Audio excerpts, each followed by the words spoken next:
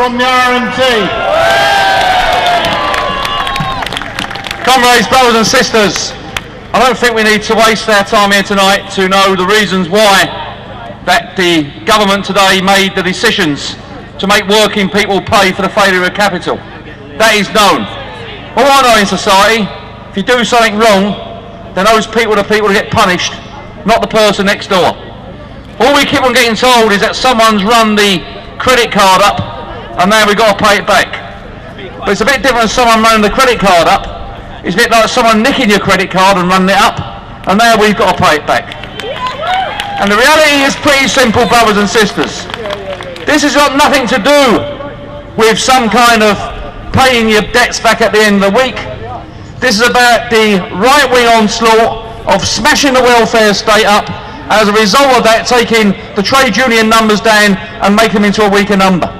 Now we've got an opportunity here, brothers and sisters, either to sit back and say that we've got to pay the debt back, and yes, it's a tough old life, or we stand up and fight. And our job at the end of the day as a trade union is not just to be concerned about the pay and the conditions of the jobs of the industry that we actually work in, but we have to make sure that we link up to the communities and those people that use those services as well. And the issue is pretty clear. We've got the People's Charter that irons out an alternative in the defence of social policies, and we know how to put the alternative regarding paying this debt back. We need to go here tonight and reach out into every single community, every house in the state, and saying that we ain't paying the debt for the rich and the bankers and all those swimming around on these non-taxable islands. I'm fed up with the back teeth of people saying to me scroungers are the only people that sit on housing estates. I'll tell you a better way to sit over housing estates with a pair of binoculars to see if someone's got a living lover is to get out to the Cayman Islands and get out to the Isle of Man and shut those bank accounts for the rich that put into this position. And therefore, brothers and sisters, I'll wind up by saying this. It's no good the TUC and other trade unions saying it's a tough old life course it's a tough old life.